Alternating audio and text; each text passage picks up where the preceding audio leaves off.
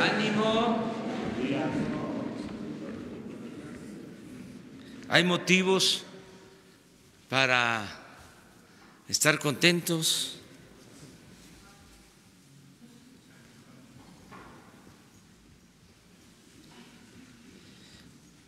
Bueno, pues hoy eh, vamos a dar a conocer a los integrantes de la Guardia Nacional, a la coordinación de la Guardia Nacional y al comandante de la Guardia Nacional. Es muy importante que se haya llevado a cabo la reforma constitucional y que ahora se constituya la Guardia Nacional para atender el problema que más le preocupa a millones de mexicanos, el que tiene que ver con la seguridad pública. Tenemos el compromiso de garantizar la paz y la tranquilidad en nuestro país, sin guerra, con programas para crear oportunidades de empleos,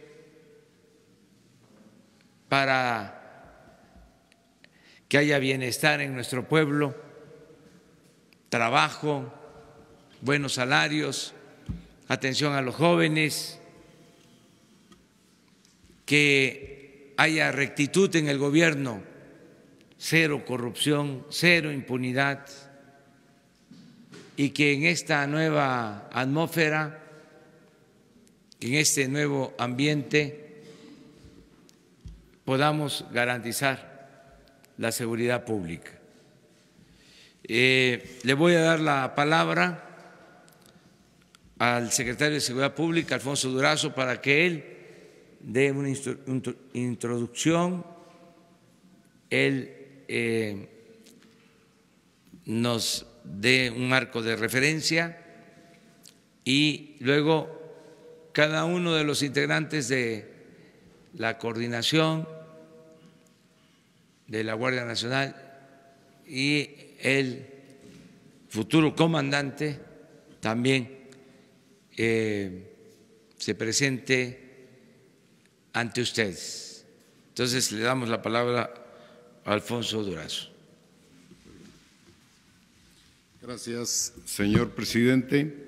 Muy buenos días a todas, a todos ustedes. Eh, informarles, el señor presidente ha tomado la decisión ya de eh, integrar la coordinación operativa institucional, que es un órgano intermedio entre el secretario y el comandante de la Guardia Nacional y que tiene la responsabilidad constitucional de eh, asesorarlo en diversos temas, particularmente en la elaboración de la estrategia de seguridad y en la definición de los planes operativos de la Guardia Nacional, entre otras muy relevantes tareas que tendrá esta coordinación operativa institucional. Eh, está integrada por un representante, una representante de la Policía Federal, un representante de Marina y un representante de la Secretaría de la Defensa Nacional. Esta responsabilidad ha recaído en el caso de la representación de Sedena para la eh, integración de la coordinación operativa institucional. Está el general de brigada, diplomado de Estado Mayor, Jicotencat de Azolowa Núñez Márquez. En, en el caso el representante de la Secretaría de Marina en eh, esta coordinación operativa interinstitucional, el contraalmirante de Infantería de Marina, diplomado de Estado Mayor, Gabriel García Chávez. Y en el caso de la representante de la Policía Federal, la comisaria general Patricia, doctora Patricia Rosalinda Trujillo Mariel. Y en el caso de la comandancia de la Guardia Nacional, eh, quedará a cargo del general de brigada diplomado de Estado Mayor, Luis Rodríguez Bucio, en proceso de retiro. Bien, pues estos son los eh, responsables integrantes o quienes asumirán las tareas de dirección fundamentales para la Guardia Nacional. Dejo en eh, primer lugar en el uso de la palabra para que haga su propia presentación al general de brigada diplomado de Estado, Mayor, Jicotencat Núñez Márquez. Luego vendrá el eh, eh, contraalmirante de infantería, Gabriel García. Luego la comisaria eh, Patricia Rosalinda Trujillo y finalmente en el uso de la palabra el general de brigada Mario, eh, perdón, Luis Rodríguez Bucio. Adelante, por favor, mi general.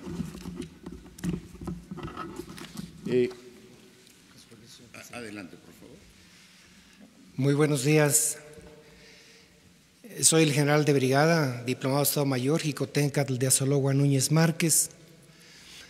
Ingresé a las Fuerzas Armadas el 1 de agosto de 1976 en el 19 Batallón de Infantería en Petatlán, Guerrero. Después acudí a mi formación académica en el Heroico Colegio Militar, curso de formación de oficiales del Arma de Infantería, en la Escuela Superior de Guerra, la licenciatura en Administración Militar y en el Colegio de Defensa Nacional para la maestría en Seguridad y Defensa Nacionales. En mis cargos operativos he ocupado los básicos de comandante de sección, compañía, de batallón, de grupo de morteros, en Guerrero, Michoacán, Chihuahua y en actividades de Estado Mayor en las zonas militares 11 en Zacatecas, octava en Reynosa, la 37 en Santa Lucía y en el Estado Mayor de la Secretaría de la Defensa Nacional, como jefes de la sección séptima, operaciones contra el narcotráfico, tercera, operaciones eh, como comandante de la zona militar, quinta zona militar en Chihuahua, Chihuahua, de la 18 zona militar en Pachuca, Hidalgo, y como jefe de Estado Mayor de la primera región militar. Actualmente estoy agregado al cuartel general de la 24 zona militar, esperando la conclusión de mi trámite de retiro que inició en noviembre del 2018 y culminará en julio del 2019. Muchas gracias.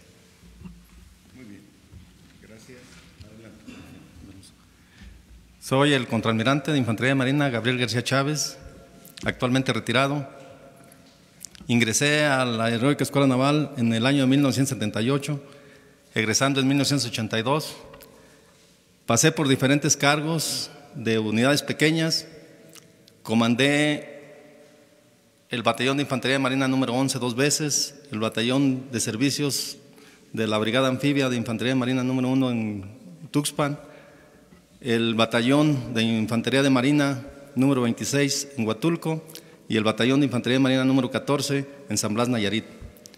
Mi experiencia en Estado Mayor, fui jefe de la sección segunda de la primera región naval y ahí mismo jefe de la sección primera jefe de la sección primera de la primera brigada de, la sección primera de la primera brigada anfibia.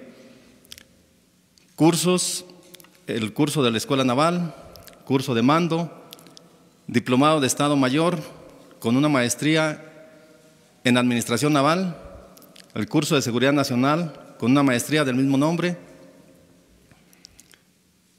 Tengo un diplomado en Derechos Humanos, el curso de comandos en la Brigada Anfibia número uno de Tuxpan, Veracruz. Eh, actualmente estoy retirado y he sido designado para integrarme a la coordinación de la Guardia Nacional. Muchas gracias.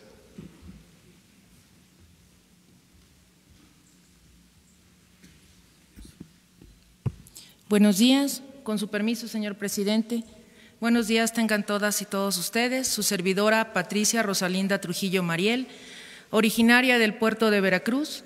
Ingresé a la Policía Federal el 16 de septiembre del año 2009.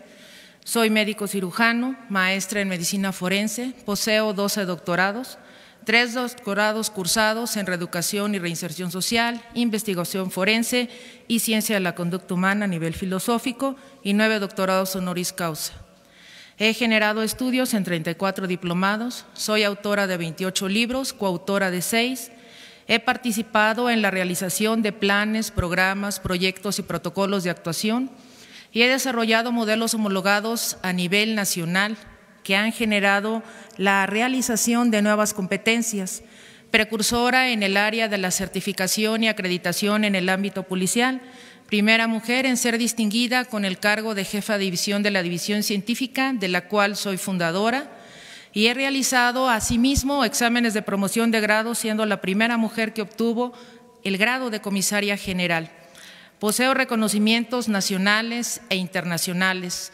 He sido miembro del Sistema Nacional de Investigadores, maestra PROMEP con perfil deseable nivel 2 y orgullosamente mexicana, asumo con compromiso y responsabilidad esta distinguida distinción al servicio de ustedes, mi comunidad, mi sociedad, a quien entrego con toda confianza los valores, la ética, los principios, la fortaleza y el entusiasmo que me han sido forjados a lo largo de mi formación. Es cuanto, señor presidente.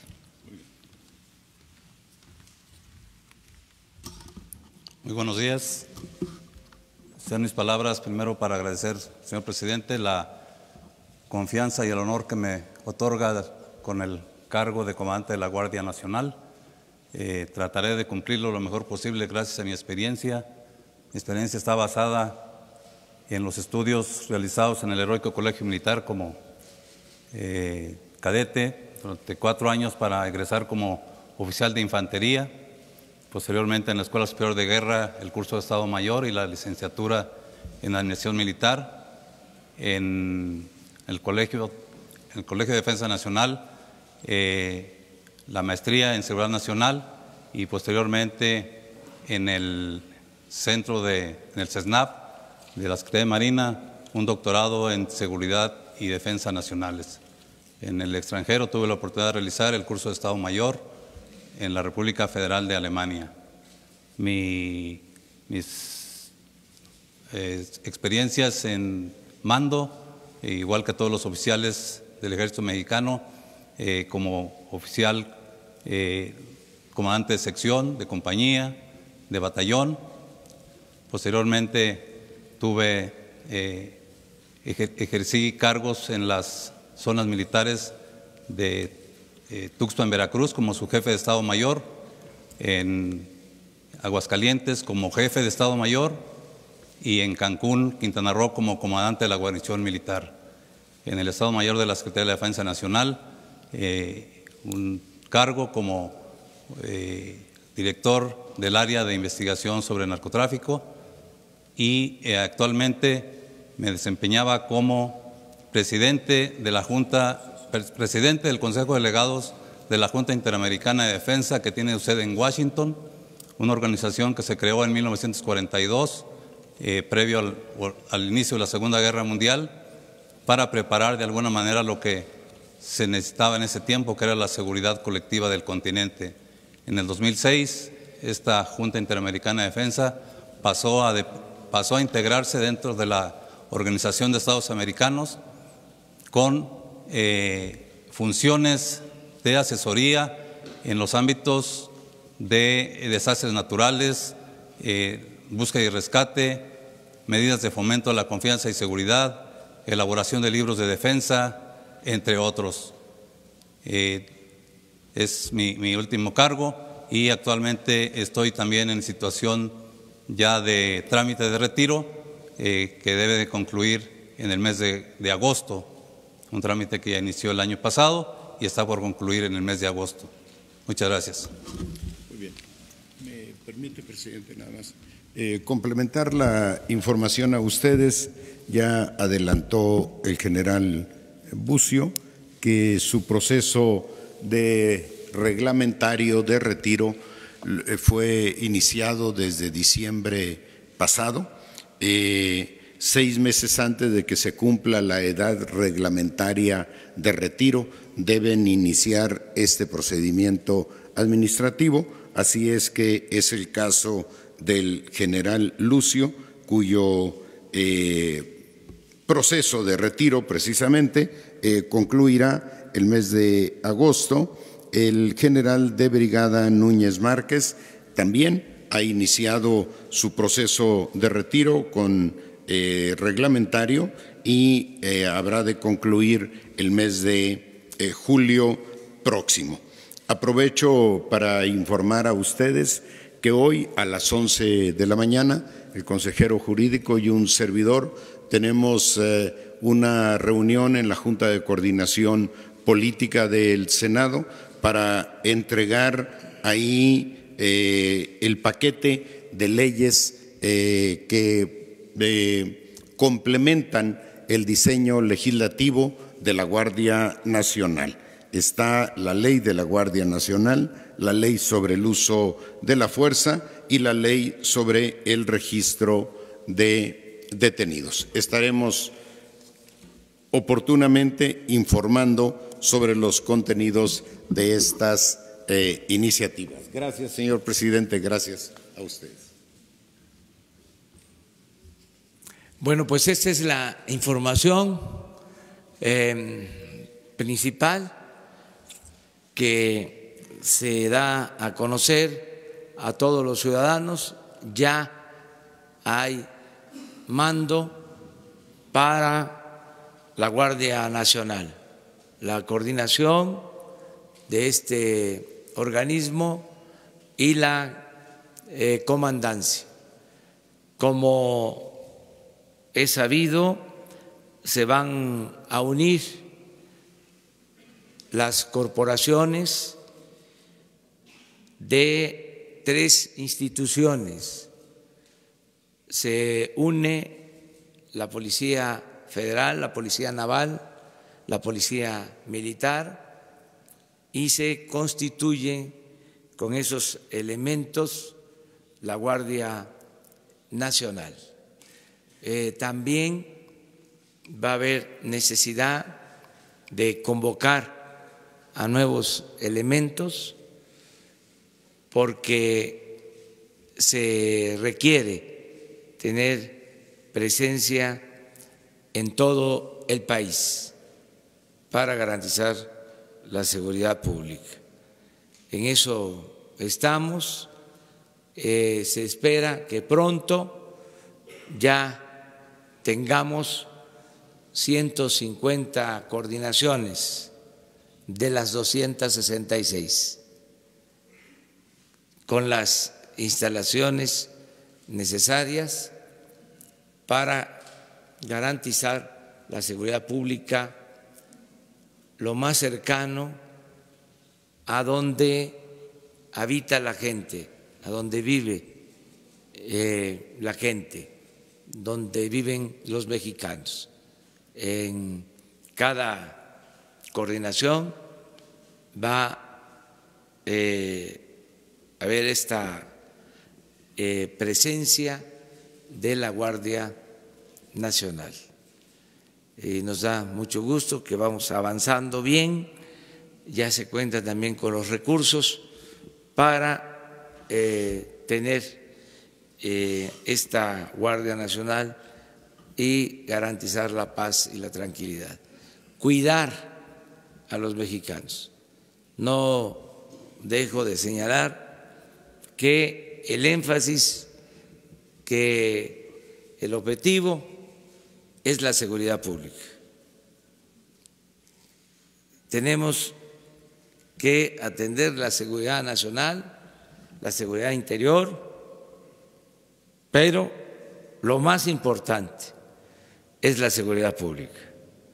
Por eso, el giro que queremos dar con el acompañamiento de la defensa y protección de los derechos humanos y con el uso regulado de la fuerza, el giro que se quiere dar a las instituciones,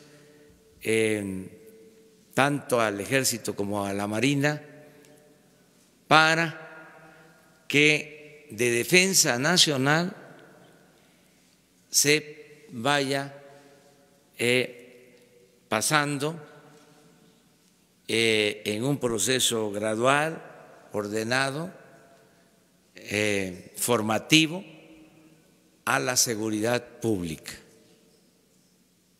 Hemos hablado que si se trata de defender a la patria, si se trata de la defensa nacional, todos los mexicanos, como ha sucedido en nuestra historia, estamos eh, dispuestos a defender a nuestra patria. Pero ahora por las circunstancias, lo prioritario es atender el grave problema de la inseguridad y de la violencia. Y por eso el Estado mexicano, con sus instituciones, afortunadamente se cuenta con instituciones eh, que son profesionales como el ejército, como la marina, van a ayudar a que se pueda garantizar la paz y la tranquilidad en el país. Eh, ese es el paso que se está dando. No quiero dejar también de mencionar que el sustento, la base de toda la política de seguridad eh, estriba en el bienestar del pueblo, porque la paz y la tranquilidad son frutos de la justicia. La base, los cimientos para que haya la seguridad es el crecimiento económico, es el empleo, son los salarios bien pagados, la atención a los jóvenes, el derecho a la educación, el derecho a la salud, la felicidad del pueblo. Eso hace la diferencia con la política que se venía imponiendo, así como enajenados pensaban que solo con la fuerza se podía resolver el problema de la inseguridad y de la violencia.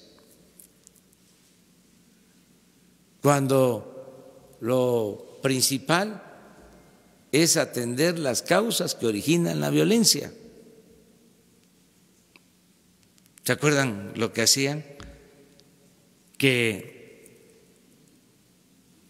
manifestaban que iba a haber mano dura que no les iba a temblar la mano, hasta aparecían en mensajes eh, de televisión diciendo no nos va a temblar la mano, la ley es la ley, queriendo resolver los problemas solo con medidas coercitivas, con cárceles con amenazas de mano dura y al mismo tiempo este, saqueando al país y dejando al pueblo en condiciones de indefensión, de desamparo, en la pobreza, abandonando a los jóvenes. ¿Cómo se va a resolver el problema de la inseguridad y de la violencia si se le da la espalda a los jóvenes? Hay 16 millones de jóvenes en pobreza en el país. ¿Qué hicieron? atendieron a los jóvenes? No, solo los etiquetaron llamándoles ninis, que ni estudian ni trabajan. Pues nunca hicieron nada por los jóvenes. Y cuando el joven, en el abandono, sin opciones, sin alternativas, tomaba el camino de las conductas antisociales, los acribillaban, los masacraban. Eso ya no, nunca más. Ahora se van a atender las causas, ya lo estamos haciendo y al mismo tiempo vamos a tener presencia suficiente para garantizar la seguridad de los ciudadanos. Para eso es la Guardia Nacional. Y otros programas que van a ir dirigidos a los jóvenes para prevenir la adicción y los que ya tienen alguna adicción, eh, atenderlos como un asunto de salud y eh, desalentar el consumo de drogas con una gran campaña en la que nos van a ayudar todos los medios de información, dando opciones, dando eh, alternativas, que el joven no eh, tome ese camino, el de la drogadicción, y advertirles eh, también que se informe, porque hay veces que no se tiene eh, conocimiento del daño tan grave que causan ciertas drogas, sobre todo las drogas que más están comercializando, consumiendo en la actualidad. Drogas sintéticas que destruyen eh, eh, los organismos.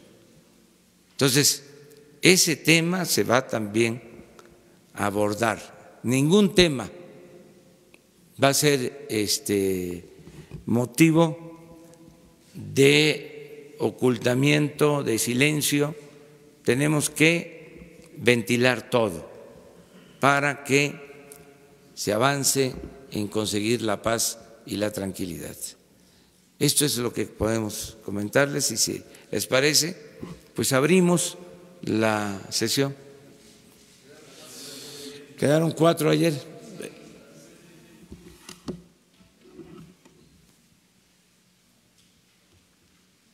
A ver, el primero que quedó de ayer. Adelante.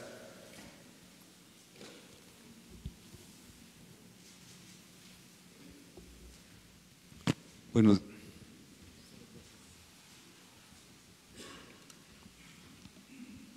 buenos días, señor presidente. Carlos Pozos, reportero de Líderes Mexicanos y Petróleo y Energía.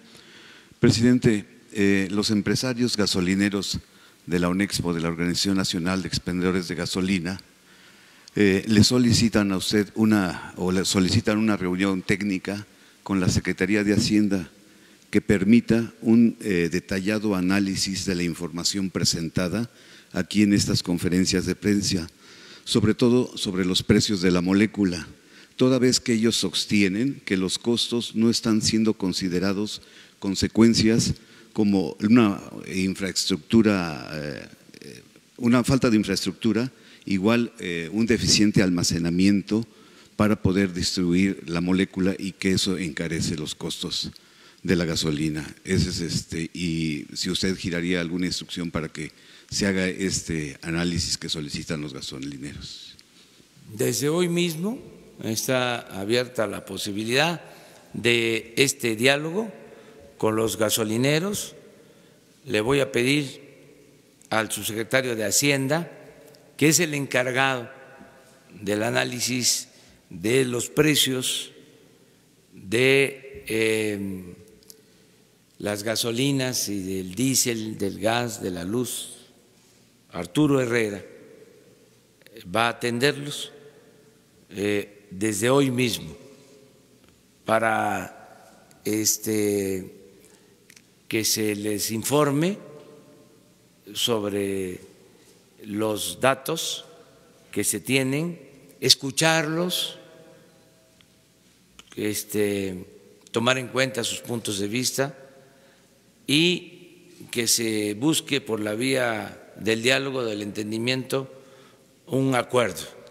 Lo que queremos es que no se afecte a los consumidores de gasolinas, porque hay la decisión de no aumentar el precio en términos reales por parte del gobierno y lo estamos cumpliendo.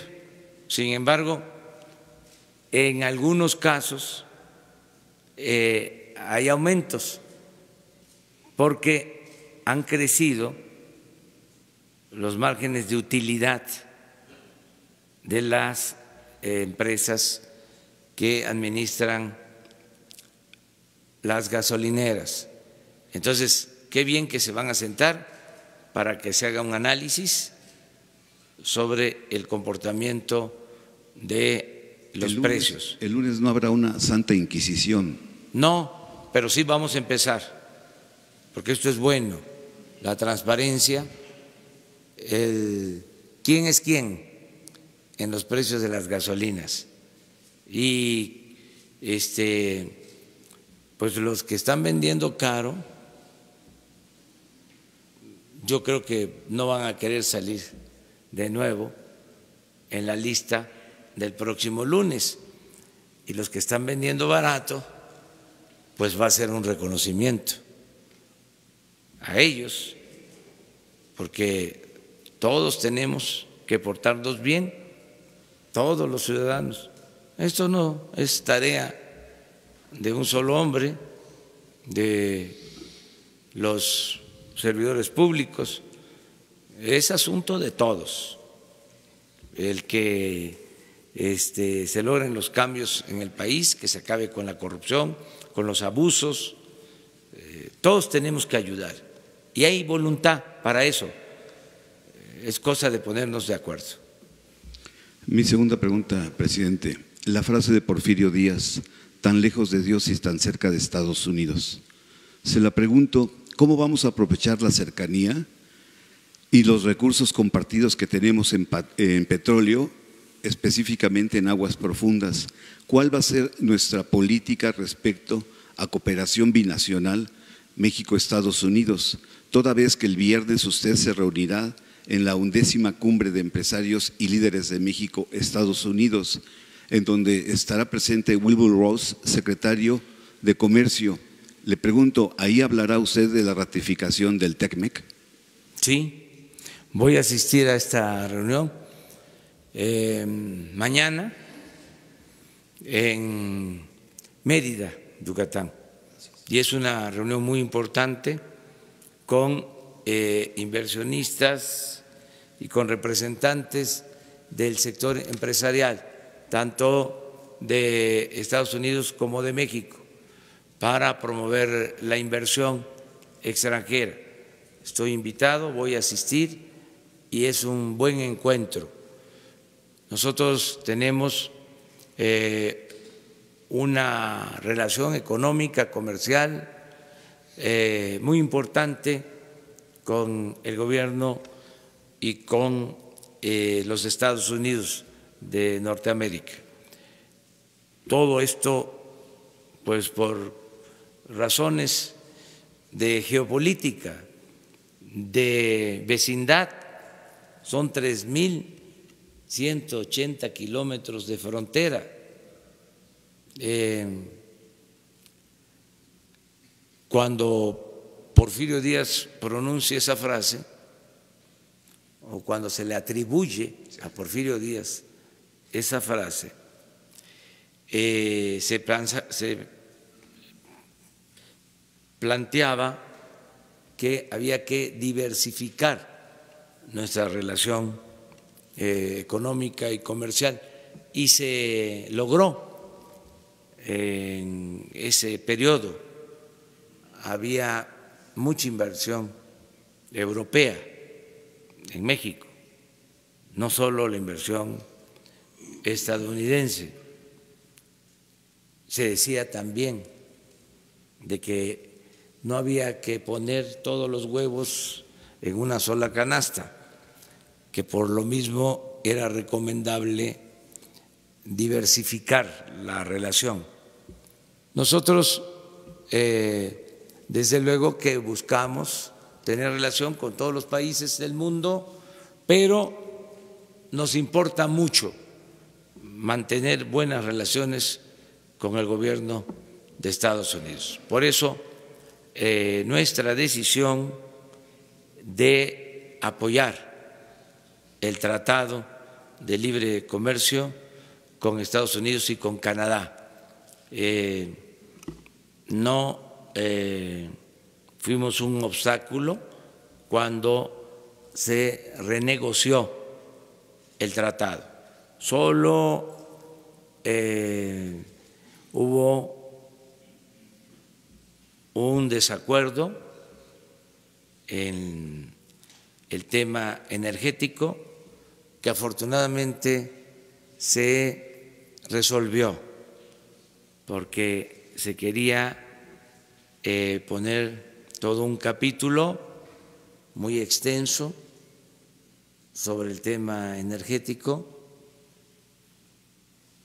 de manera respetuosa. Dijimos que eso no lo podíamos aceptar por eh, asunto de soberanía. Nosotros consideramos que México debe manejar con libertad, con soberanía, sus recursos naturales y en particular el petróleo. Ellos este, lo entendieron y ese capítulo extenso se redujo a dos párrafos que reafirman el derecho de México a manejar sus recursos naturales con libertad y soberanía.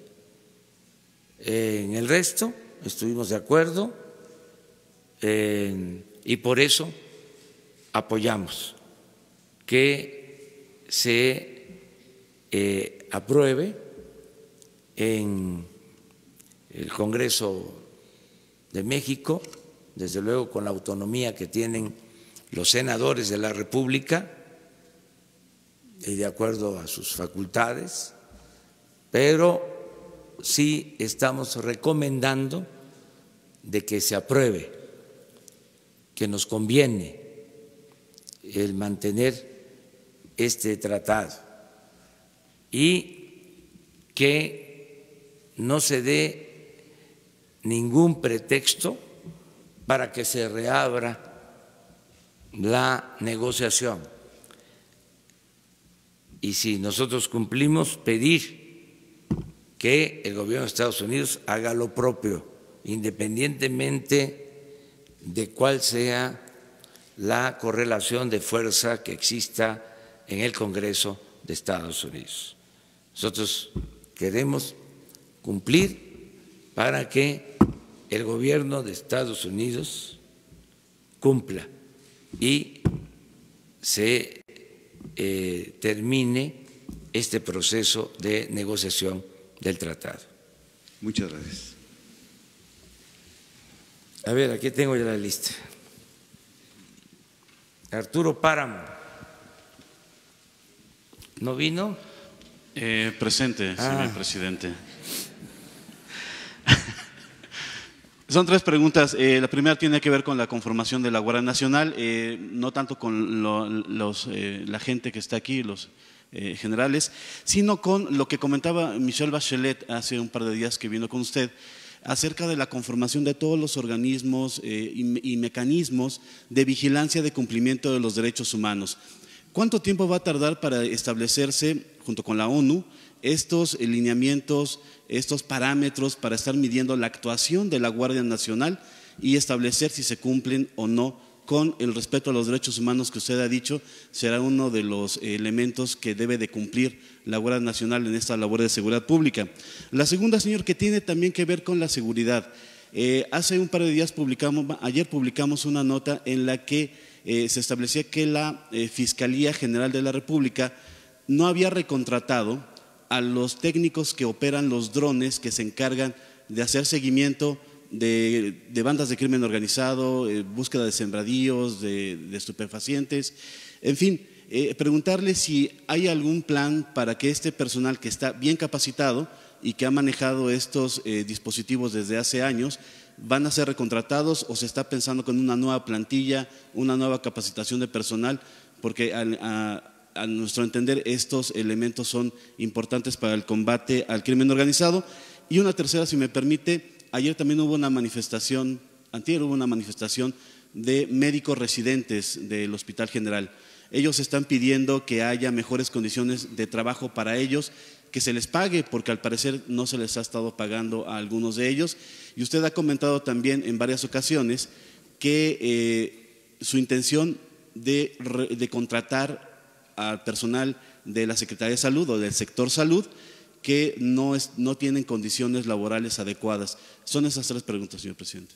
Sí, bueno, logramos que nos acompañe en todo este proceso de creación de la Guardia Nacional la alta comisionada, el cargo es alto comisionado de em, la ONU para eh, derechos humanos.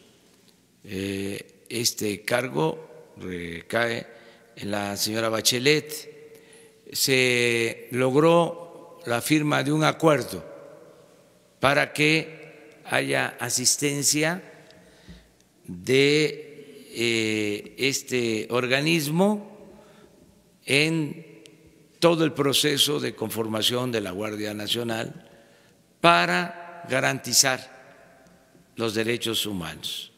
Eh, va a ser permanente.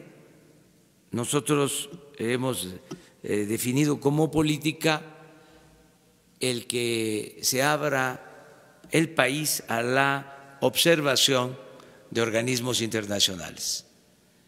A diferencia de lo que pasaba anteriormente, de que no se permitía o había discrepancias o no se daban facilidades a organismos internacionales para observar sobre estos temas, nosotros tenemos las puertas abiertas. Entonces, el tiempo que sea necesario. Estamos acudiendo mucho a la ONU, eh, no solo en lo que tiene que ver con derechos humanos, también en temas de transparencia en lo que corresponde a compras,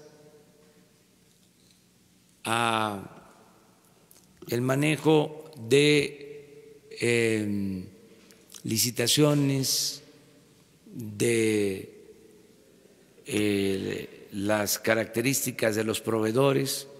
Por ejemplo, ya pronto eh, se va a dar a conocer todo lo relacionado con la venta de los aviones del gobierno y tenemos acompañamiento de la ONU en la venta de los aviones y de los helicópteros del gobierno.